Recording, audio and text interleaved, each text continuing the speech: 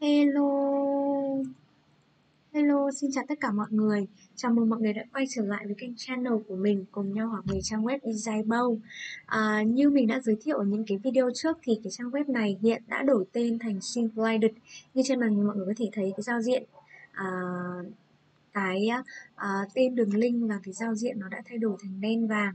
À, như trước đấy thì à, theo mình tìm hiểu thì cái trang web Disable nó sẽ có cái giao diện là màu trắng và màu xanh nước biển. Nhưng bây giờ thì họ đã nâng cấp lên và đã đổi tên rồi. Thì mình hầu như mình tìm kiếm ở link Disable nào thì họ cũng hướng đến một cái link mới đó là link Simplified này. Thế nên là um, à, tất cả các tính năng ở đây thì sẽ không thay đổi mọi người ạ. Không thay đổi so với Disable trước nhưng mà cái giao diện cái à, thiết kế của trang web nó sẽ thay đổi một chút. Mà nói chung là không sao. Nhưng mà cái uh, mới của cái uh, nếu người ta nâng cấp lên ấy thì họ cũng thêm một số các tính năng mới đó là như mọi người có thể thấy ở trên màn hình này cái IE Writer ấy, writer ấy là người ta sử dụng trí tuệ nhân tạo để có thể uh, thiết kế những cái mẫu thiết kế riêng cho mọi người. Uhm, đó đó là cái tính năng mới mà mình nhận thấy được khi mà cái trong web disable này họ nâng cấp lên cải tiến lên. Ở dưới thì vẫn là những cái mẫu thiết kế có sẵn. Nếu mà mọi người uh, ưng cái mẫu thiết kế nào thì mọi người có thể click vào và uh, chỉnh sửa theo ý muốn của mọi người thôi. Cũng không có gì lắm nó cũng giống với Canva, Pictochart này, Sligo với cả PXRR ấy. Cũng như thế thôi. Nói chung là mình thấy cái trang web này khá là ok nếu mà mọi người muốn tìm cái sự mới mẻ hoặc là muốn tìm những cái mẫu thiết kế mới hơn thì mọi người có thể gọi là uh, thay đổi những cái trang web khác nhau để uh, có thể mang lại cái uh, hiệu suất lớn nhất cho công việc trong công việc cũng như là trong cái quá trình học tập của mọi người.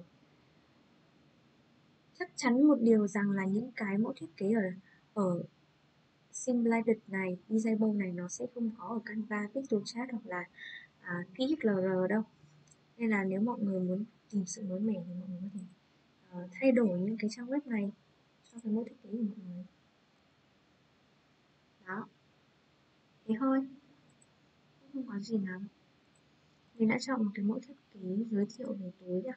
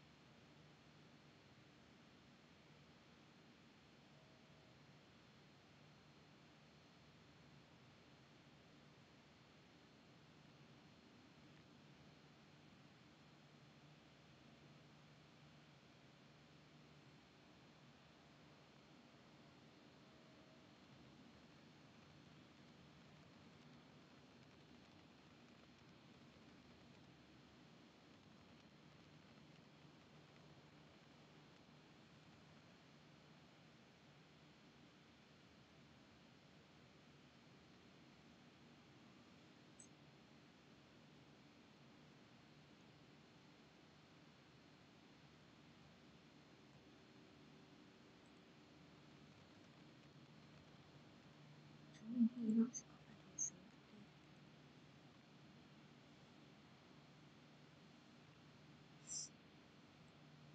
Có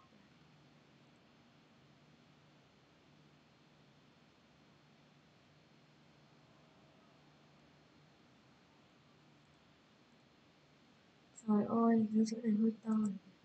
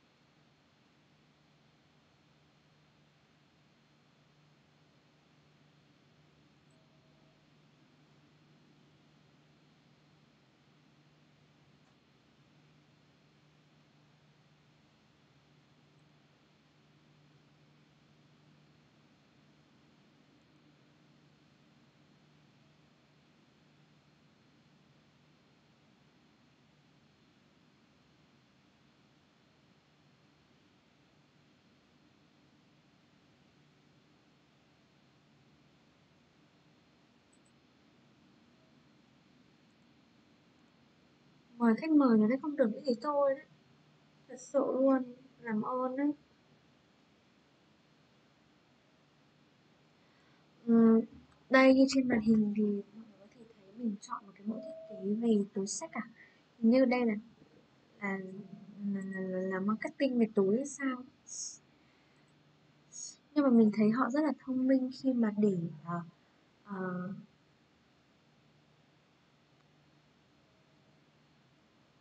hoa lá xong kết hợp với túi xách của phụ nữ tạo một cái sự gọi là mềm mềm mại và quyến rũ ấy. Nhưng không kém phần gọi là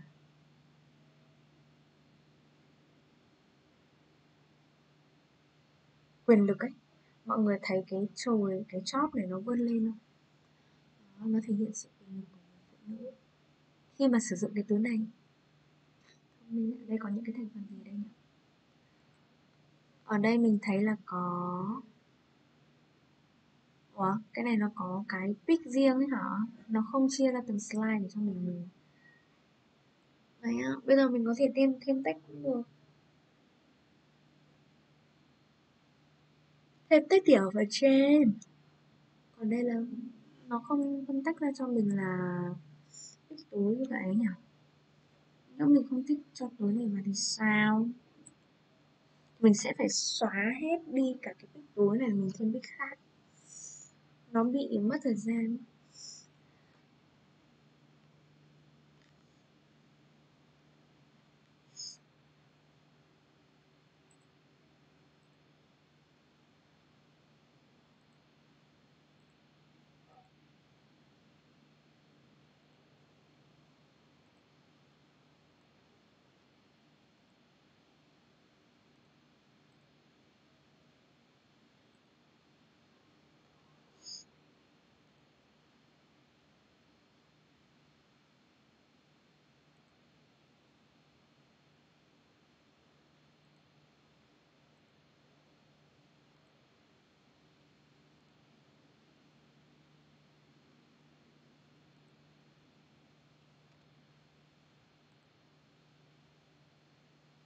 Gọi là sao nhỉ? Cancel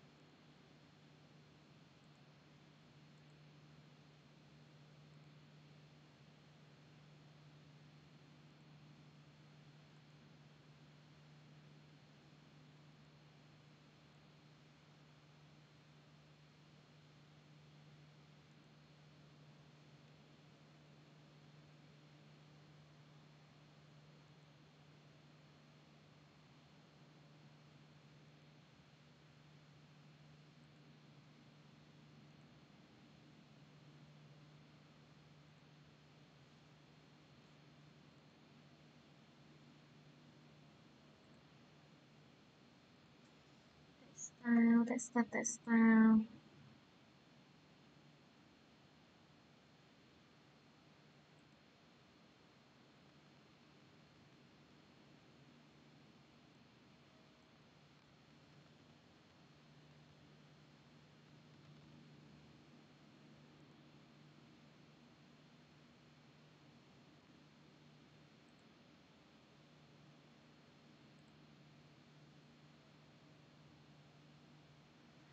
một cái playlist mới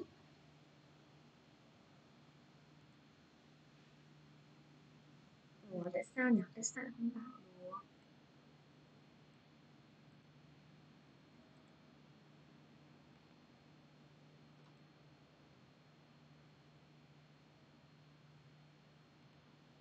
Ừ.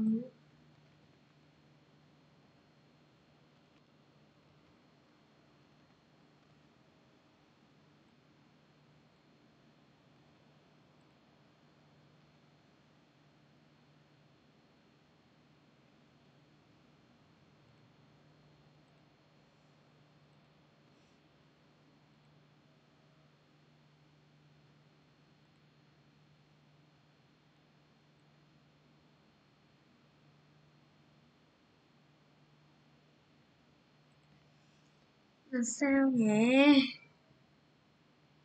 Đây rồi.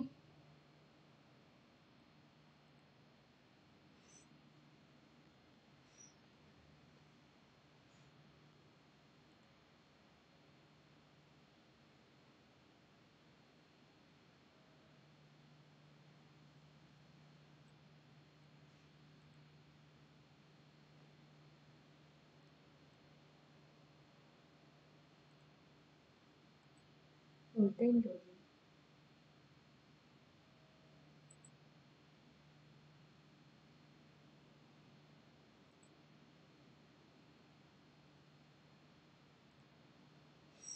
Mọi người ơi, mọi người cứ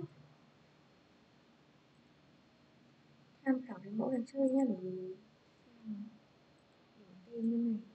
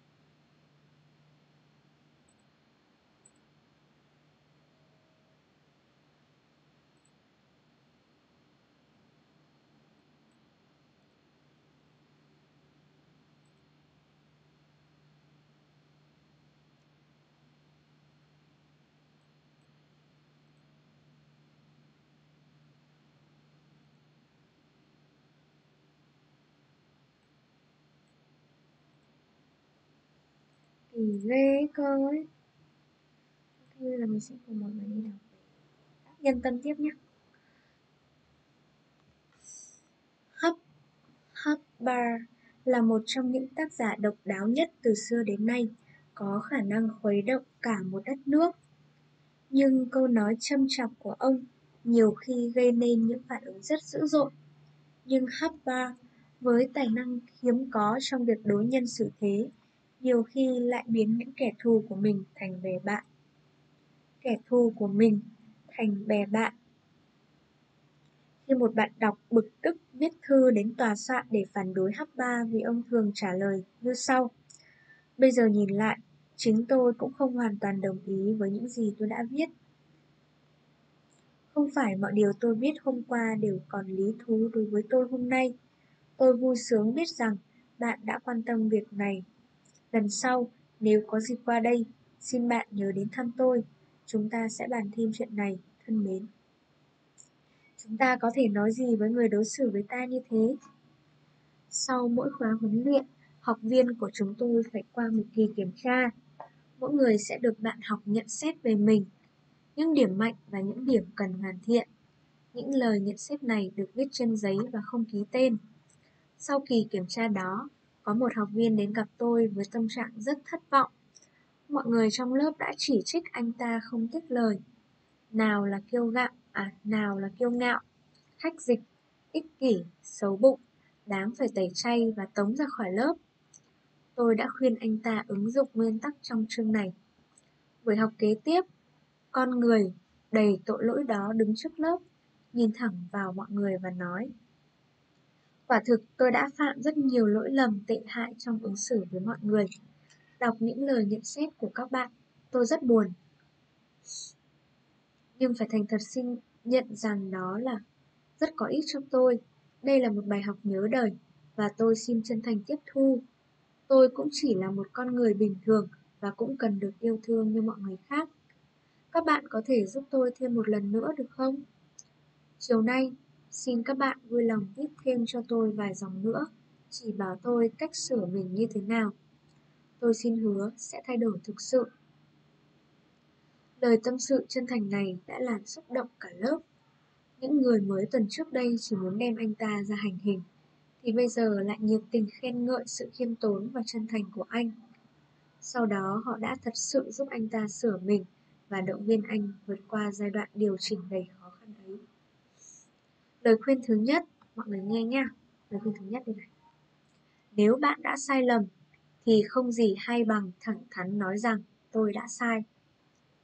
Chẳng luôn. Nhượng bộ không phải hạ mình, nhận lỗi không phải là nhục nhã.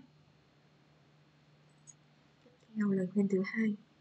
Trong quan hệ với con người, hãy luôn nhớ rằng chúng ta đang giao tiếp với những sinh vật không có lý trí và mà còn có không à chúng ta giao tiếp với những sinh vật không những có lý trí mà còn có cảm xúc. Họ rất dễ bị tổn thương bởi những họ rất dễ bị tổn thương, rất dễ bị họ rất dễ bị họ rất dễ bị tổn thương, họ rất dễ bị tổn thương bởi định đấy. Người đọc cái câu này mình có thấy bị thanh không? Thanh mặt ngang Họ rất dễ bị lý trí mà còn có cảm xúc. Họ rất dễ bị tổn thương bởi những định kiến, nhưng luôn có động lực khi có niềm tự hào và lòng kiêu hãnh. Nguyên tắc thứ 12 mình học được đó là nếu bạn sai, hãy nhanh chóng và thẳng thắn thừa nhận điều đó. Tiếp theo, nguyên tắc thứ 13, mật ngọt trong giao tiếp. Wow! Nghe thôi là đã muốn đọc tiếp rồi đúng không ạ mọi người? Cái phần này thì mọi người có thể xóa slide ở phần này này. Xóa slide ở đây nhé. Ở đây nó có ghi là xóa ảnh, đây là tay ở đây rồi. Đặt làm nền.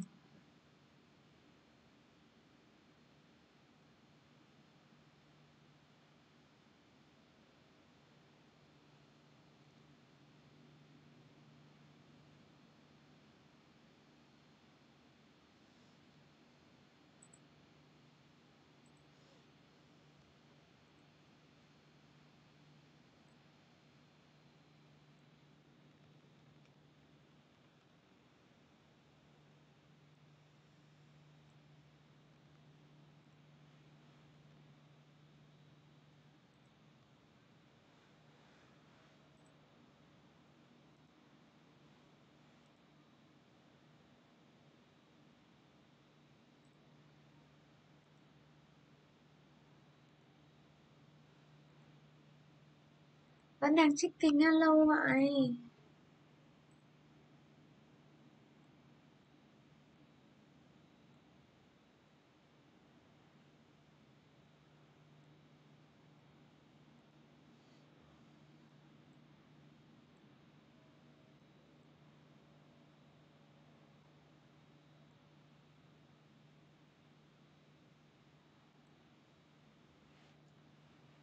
Chẳng hiểu sao ấy mọi người ạ Tiếp tục Mật ngọt trong giao tiếp Khi đang trong cơn giận dữ mà ta có thể chúc mọi bực tức vào kẻ đã gây ra nó thì chắc chắn chúng ta sẽ hả hê rất nhiều. Nhưng đối phương thì sao? Họ sẽ chẳng thể nào chấp nhận giọng điệu gay gắt và thái độ hằn học của ta. Sự cảm thông, tình thương yêu và lòng trắc ẩn chính là phương cách tốt nhất giúp bạn nhận được sự đồng tình của mọi người. Woodrow Wilson Wilson nói, nếu bạn đưa hai quả đấm ra với tôi, thì tôi lập tức dương hai quả đấm đáp lại bạn. Nhưng nếu bạn đến gặp tôi và nói, chúng ta hãy ngồi xuống nói chuyện. Nếu như ý kiến chúng ta khác nhau thì khác như thế nào và tại sao? Đây chính là những điểm cần thảo luận. Lúc đó bạn sẽ thấy chúng ta không quá cách xa nhau như đã tưởng. Những điểm bất đồng rất ít, còn những điểm đồng thuận lại rất nhiều. Chỉ cần kiên nhẫn và chân thành một chút, chúng ta sẽ dễ dàng đi đến sự hòa hợp. Mật ngọt trong giao tiếp Nghe là đã muốn... Tại sao đấy nhỉ?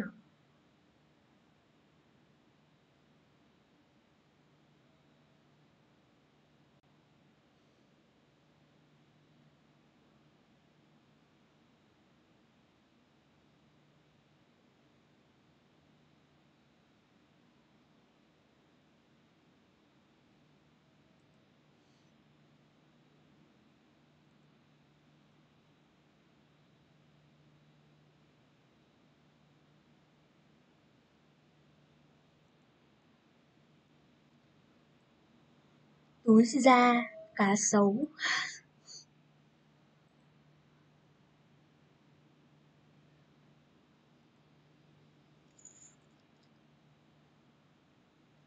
Có lẽ không ai cảm nhận được chân lý trong lời tuyên bố của Woodrow một cách sâu sắc hơn John. Thì luôn cái cái tên ở cái cuốn sách này ấy, rất là khó đọc luôn ấy. Rất nhiều nhân vật luôn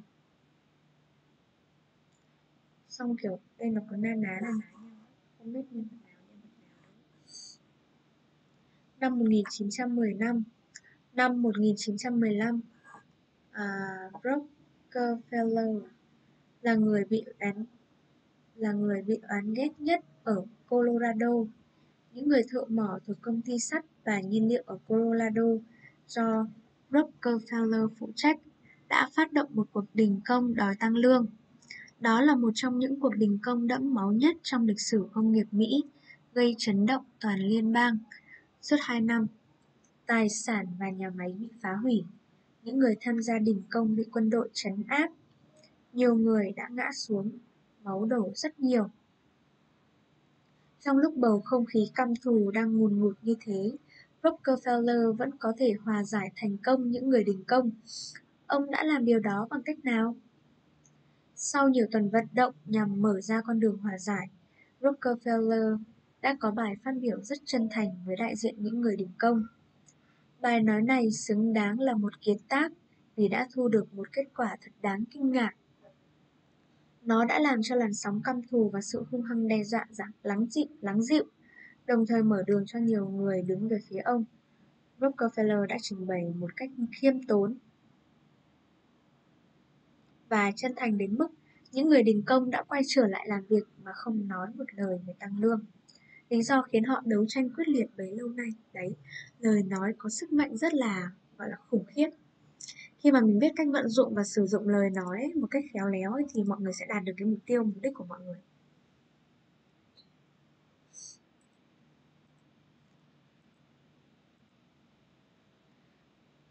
Xưa thì các cụ đã có những cái câu về cách sử dụng lời nói rồi lời nói chẳng mất thì mua lợi lời mà nói trong lời nhau. Đấy cũng là một ví dụ.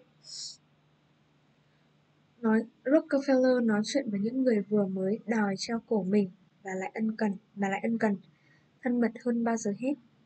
Bài nói chuyện của ông xuất hiện nhiều câu như, tôi tự hào được ở đây, sau khi đã đi thăm nhà của các bạn, sau khi đã gặp vợ con của các bạn Chúng ta gặp nhau không phải như những người xa lạ, mà như những người bạn, trong tinh thần thân ái, vì quyền lợi chung của chúng ta. Chúng chính nhờ lòng tử tế của các bạn mà tôi được ở đây. Hãy nghe Rockefeller bắt đầu. Đây là một ngày vui trong đời tôi. Lần đầu tiên tôi được may mắn gặp toàn bộ đại biểu của những người đang làm việc tại công ty lớn này. Nhân viên, quản lý, và các vị lãnh đạo. Tôi thật sự rất xúc động khi được ở đây. Tôi sẽ ghi nhớ cuộc gặp gỡ này, cuộc gặp gỡ này suốt đời.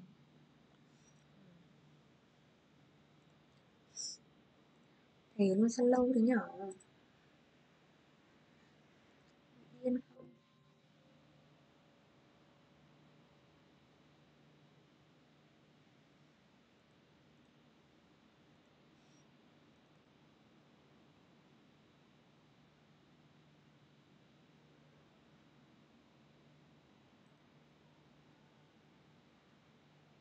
Rockefeller Rockefeller. Không biết phát âm như thế nào đâu đúng không? rồi mình nhìn. Về tí gần quá bị đau mắt rồi, trời ơi! Không đâu, phải bị mắt của mình chứ.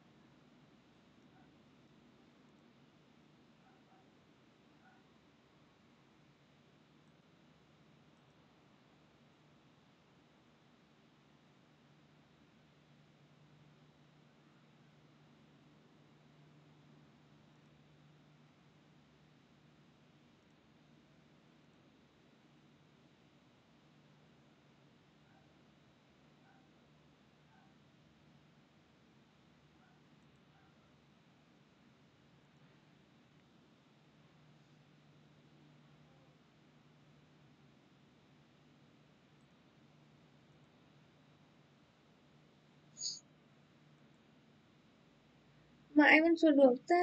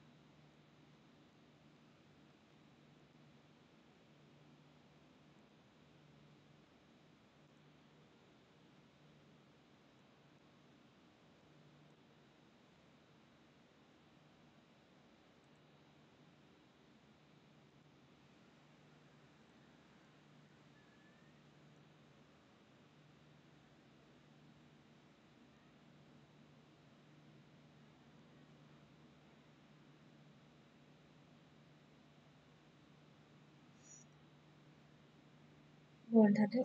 Mình sẽ chọn sang cái mẫu thiết kế khác nhá mọi người nhé bởi vì mẫu thiết kế này chắc là mọi người cũng không có gì để phân tích hết. Nó chỉ có một cái hai layer thôi, một cái layer background một cái layer về về kết túi đấy. Nói chung nó cũng không kết hợp nhiều thành phần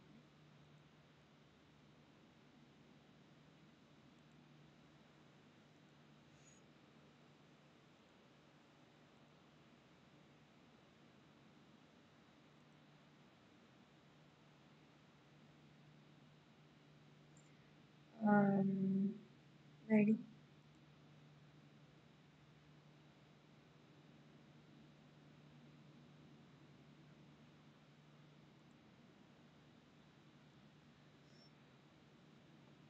câu chuyện Instagram.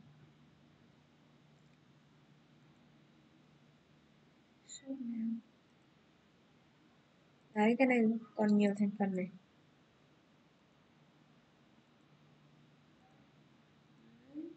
Rất phải như thế này chứ thì mới là cái ấy liên kết hết với nhau như thế thì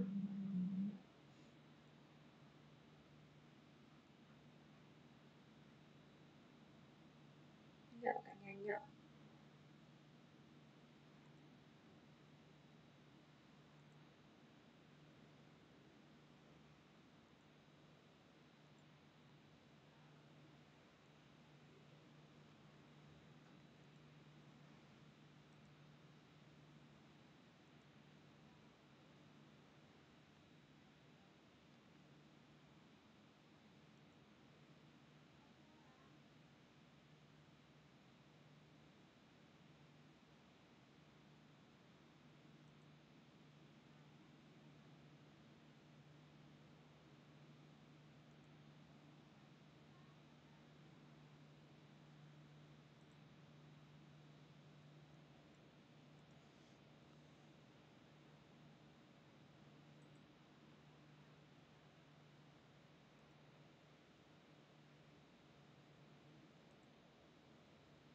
thay tên playlist kiểu gì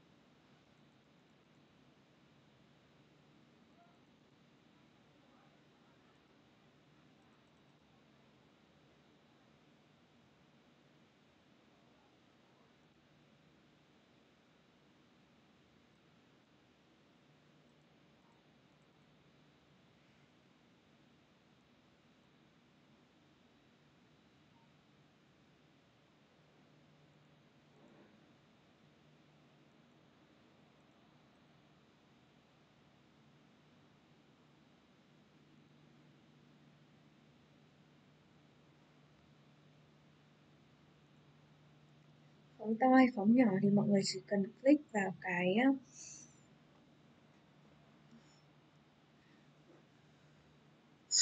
cái đối tượng mà người muốn đối tượng mà mọi người muốn phóng to phóng nhỏ, ví dụ như cái này túi gì ấy? Mọi người à, ở bên góc, những cái góc mà chấm trắng này này mọi người có thể kéo. Nó hiện cái con trỏ kéo cho mọi người đấy. Phóng to, phóng nhỏ này ngang dọc này có thể kéo được hết.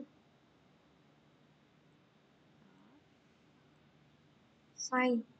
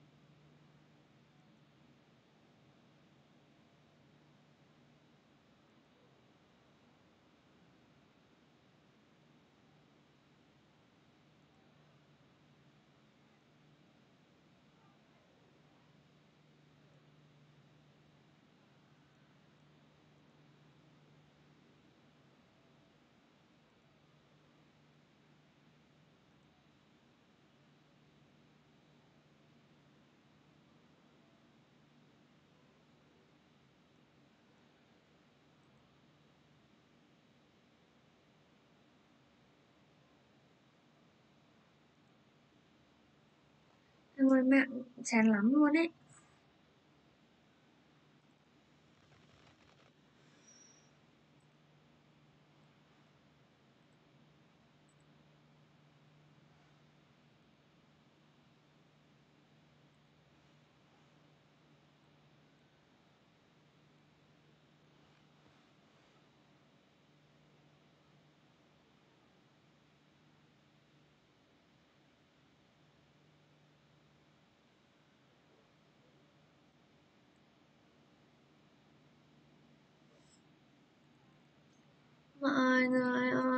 Sao vậy? Đen đủ đường.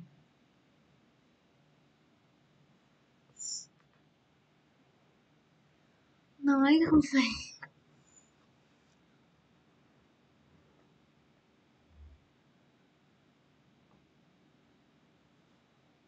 Trời ơi, nó không phải chứ tháng này mình đem lại cả trường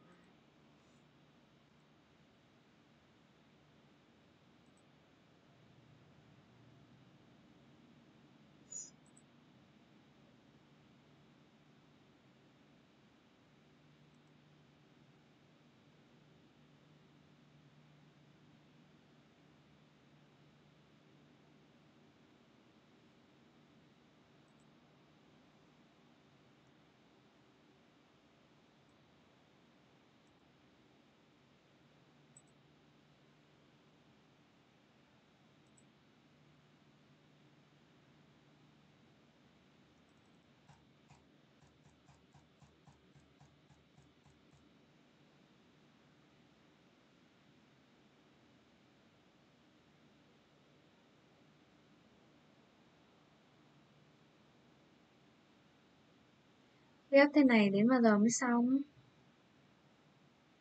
Chắc treo.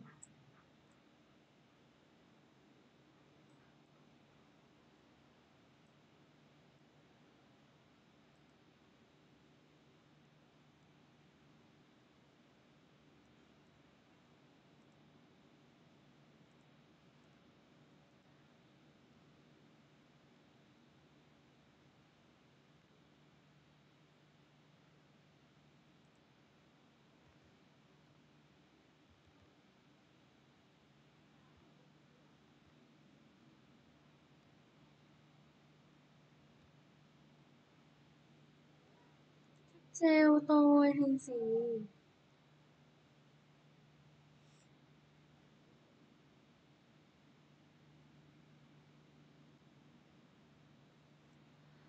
Gosh.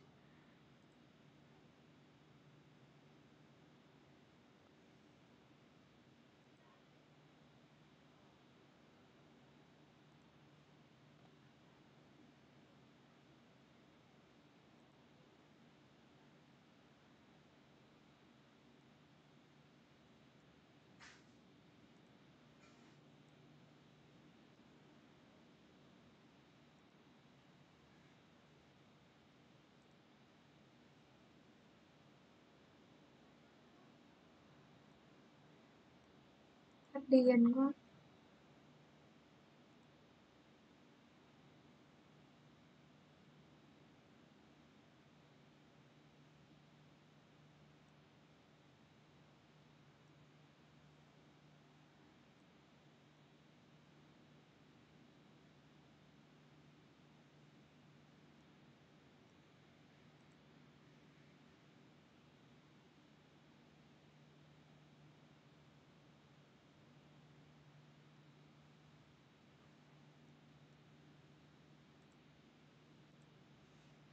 À, mày làm sao ấy?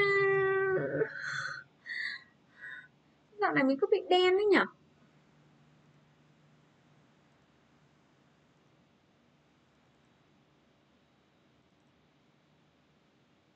Chẳng hiểu.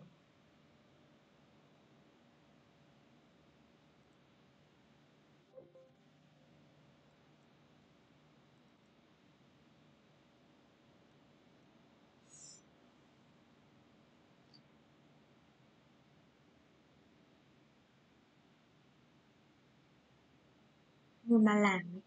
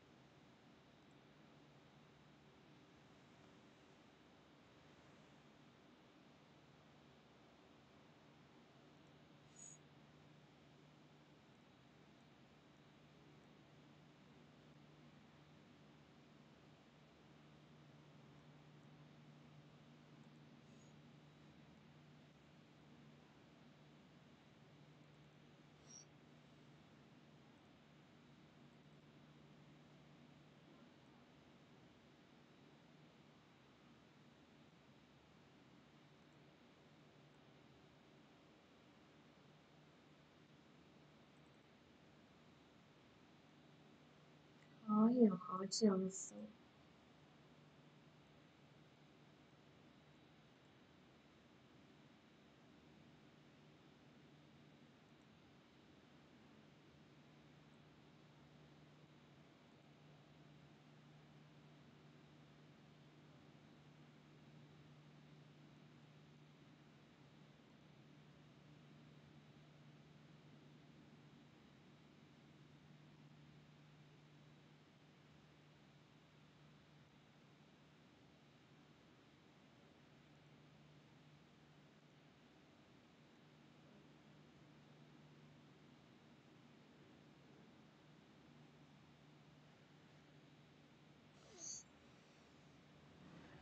lịch sự cứu cắt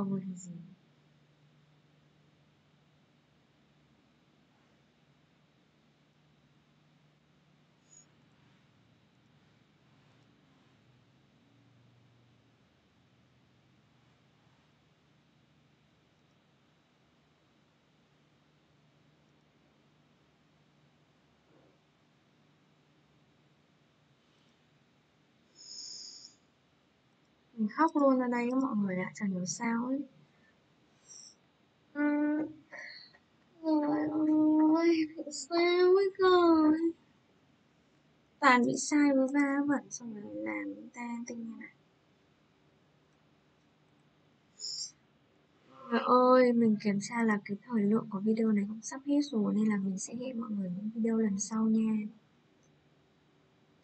Bye bye cả nhà yêu của kênh. Bye bye.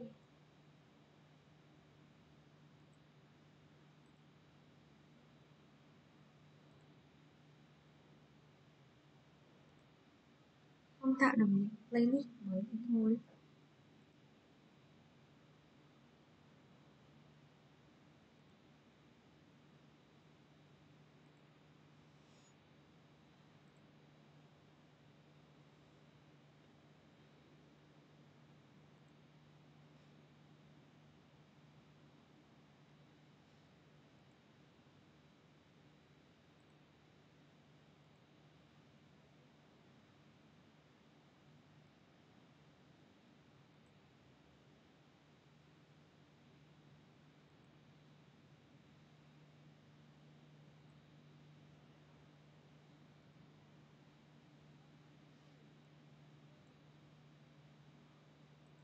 Thay tên playlist kiểu gì nhỉ?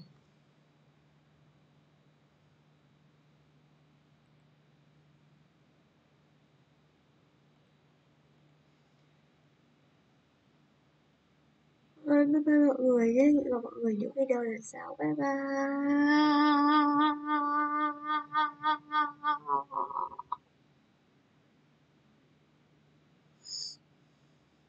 Mệt mỏi quá rồi.